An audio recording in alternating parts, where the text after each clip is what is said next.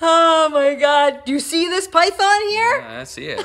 There it is. Okay, let's tidy that up. You're open ready. Oh, I am open ready. We're talking about the open. Tell us about 2017. What happened for you? Well, uh, I hurt myself. I hurt myself in one of the point whatevers, and What were you doing?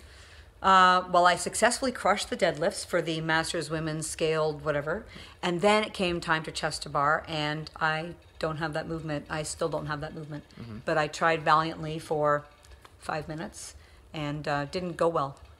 And what were the effects of that? I hurt my shoulder, and my shoulder's still not 100% right. Today, it's still not 100% That's right. right. That's true. So what happened in 2018? Uh, well, I did not sign up for the Open. Why? Ego.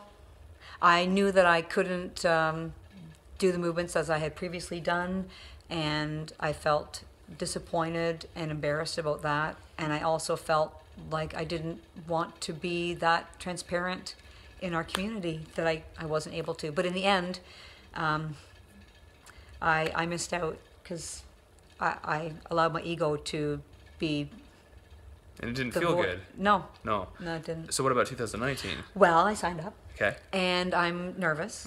How are you going to do it differently this time than last time?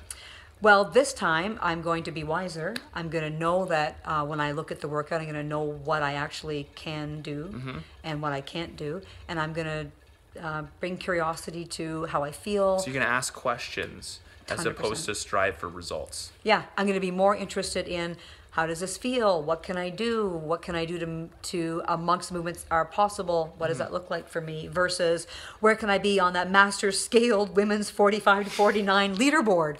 Yeah. So if you find yourself this year getting caught up in results and uh, things that you numbers you need to hit and places you need to be, take a step back and try asking yourself questions. Questions of movement, questions of what's going on in your head, questions of the situation around you.